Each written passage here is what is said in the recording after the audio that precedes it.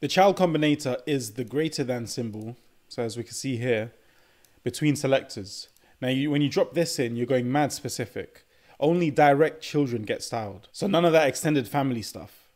Think of it like your direct siblings, not your cousins or your nephews. For example, since we got this parent list and the greater than list item, this means that every list item that's a direct child in the parent list gets styled.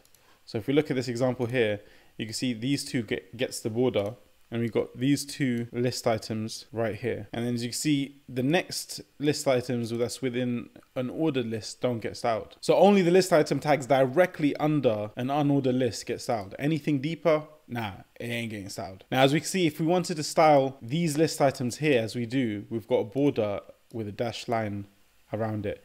We'd have to go parent list, ordered list, and then these list items. You can see we're using the descendant combinator instead of the child combinator.